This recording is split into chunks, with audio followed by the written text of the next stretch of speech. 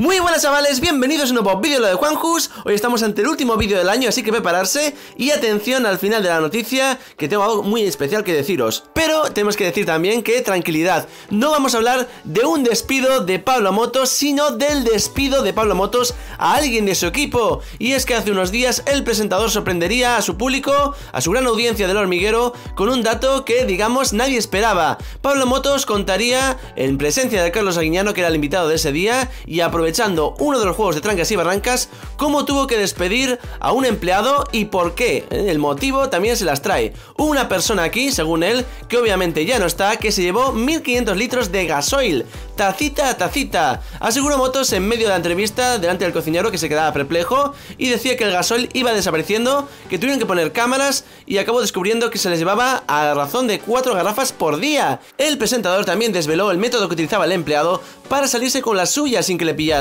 cuando estábamos ensayando aquí, él sabía que estábamos en plató, así que aprovechaba para vaciar el gasoil del grupo electrógeno que tenemos por si se va la luz. También después Carlos Aguiñano eh, se sumaría a todo esto diciendo que una vez tuvo que despedir a alguien porque sospechaba que le estaban robando. Marcó los billetes eh, de una caja registradora que tenía en su restaurante y acabó descubriendo gracias a eso que le estaban robando uno de sus camareros. La verdad es que en la sociedad hay mucha gente con mucha picaresca y hechos como estos nos sorprenden, pero también la televisión tiene a sus mangantes dentro, ¿no?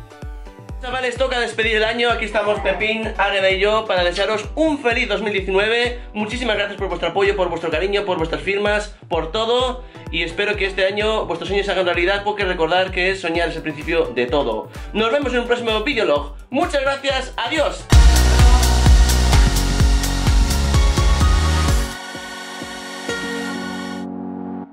te ha gustado este vídeo, suscríbete y dale a like. Y si quieres conocerme, visita mis vídeos diarios, además de las noticias de tus youtubers favoritos y del mundo de los videojuegos. ¡Nos vemos!